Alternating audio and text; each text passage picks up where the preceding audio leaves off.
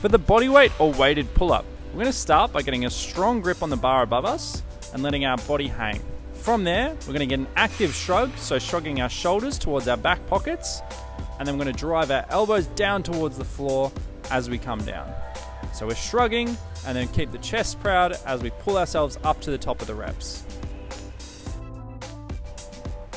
To regress this, the band assisted variation is where you just loop a band over the top bar and then you step one foot into the bottom of the band. From there, that band, which you can moderate to moderate your weight, you continue to do the same reps as we would for the normal pull up. So we shrug the shoulders down and drive the elbows to the floor.